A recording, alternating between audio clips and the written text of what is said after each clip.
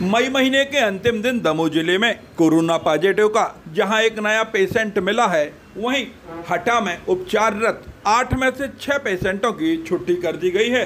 एक साथ छह पेशेंटों के घर चले जाने से, जहाँ मासूम बच्चों सहित परिजनों में खुशी का माहौल है, वहीं अब ज़िले में कुल 26 पेशेंटों में से नौ की छुट्टी हो चुकी है।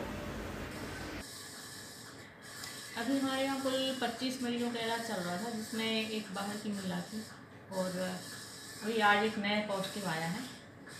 और पहले से जो भर्ती थे हमारे कोविड केयर सेंटर में हटा में भर्ती थे।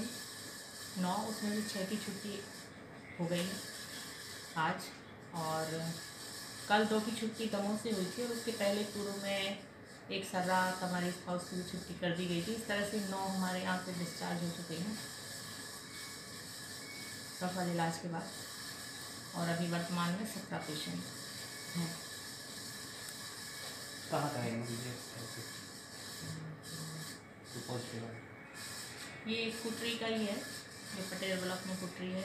पहले जो मरीज़ आया था उसी के रिलेशन में है।